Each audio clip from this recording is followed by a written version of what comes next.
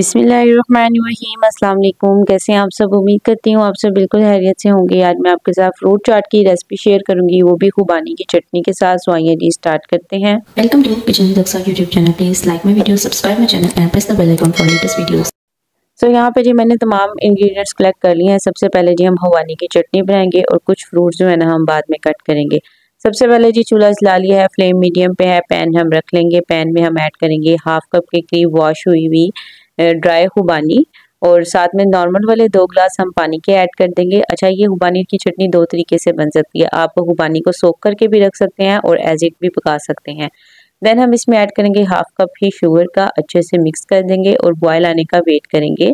जैसे ही बॉयल आ जाएगा, बाकी हम इसमें स्पाइसेस ऐड करेंगे, जिसमें हमने ऐड किया है वन टीस्पून रेड मिर्च स्पाइसेस आप अपने टेस्ट के अकॉर्डिंग एडजस्ट कर सकते हैं। वन टीस्पून ब्लैक सॉल्ट का, अगर नहीं है तो आप वाइट भी ऐड कर सकते हैं। हाफ़ टी स्पून अजवाइन का पाउडर या रा अजवाइन भी आप ऐड कर सकते हैं। One pinch orange food colour या फिर चटनी का कलर ऐड करें। हाफ़ टी स्पून ज़ीरा पाउडर ऐड करेंगे और अब जी हम इसको इतनी देर कुक कर लेंगे, जो हुबानी है ना, वो साइज़ में डबल हो जाए। आपको खुद फील होगा कि पानी भी रिड्यूस हो जाएगा और हुबानी भी जो है ना, वो डबल हो जाएगी। ऑलमोस्ट दस से बारह मिनट लगेंगे। 10 से 12 मिनट बाद आप देख सकते हैं, पानी भी तकरीबन एक हिस्सा कम हो चुका है और यहाँ पे खुबानी भी फूल चुकी है। इस पॉइंट पे चूल्हे की फ्लेम ऑफ़ कर देंगे और मीठा चेक कर सकते हैं। अगर आपको कम लगे, आप ऐड कर लें। जैसे ही रूम टेम्परेचर पे आएगी चटनी देन हम इसको ग्राइंडर के जार में शिफ्ट करेंगे और अब हम इसको अच्छे से कर लेंगे ग्रैंड ग्राइंड करने के बाद भी आप इसमें नमक भी चेक कर सकते हैं।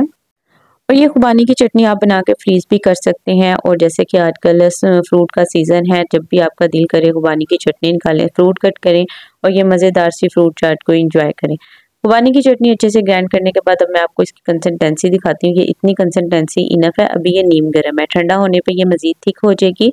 और अगर आपको लगे कि ये इनफ नहीं है, ये नहीं है तो फिर आप इसको थोड़ी देर मज़ीद पैन में डाल के कुक कर सकते हैं।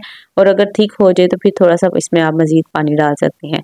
इस पॉइंट पे नमक में चेक कर लें, जो चीज़ आपको कम लगे, वो आप ऐड कर सकते हैं। एक बाउल में हम ऐड करेंगे एक कप के करीब अंगूर का वन कप हम इसमें अनार ऐड करेंगे। वन कप ही मैं इसमें ऐड करूँगी बॉयल वाइट चने जिसको थोड़ा सा नमक डाल के बॉयल कर लिया था। तीन बनाना है, उनको हम कट करके ऐड कर देंगे। यहाँ पर जी मेरे पास तीन सेब थे, उनको भी मैं ब्रीक कट करके ऐड कर दूँगी। साथ में जी हम इसमें हुबानी की चटनी ऐड करेंगे। चटनी आपको बहुत ज़्यादा पसंद है या कम पसंद है, वो आप अपने टेस्ट के अकॉर्डिंग इसमें ऐड कर सकते हैं। एक टीस्पून चाट मसाला ऐड करेंगे। सारी चीज़ें ऐड करने के बाद ही हम इसको अच्छे से मिक्स करेंगे। मिक्स करने के बाद अगर आपको इसमें लगे कि मिर्च कम है, मीठा कम है या फिर सॉल्ट कम है तो आप इस पॉइंट पर भी डाल सकते हैं। और इसको ठंडा करके सर्व करेंगे रेसिपी बहुत मज़े की है और सब इसको बहुत इंजॉय करेंगे और आजकल तो वैसे भी फ्रूट का सीज़न है।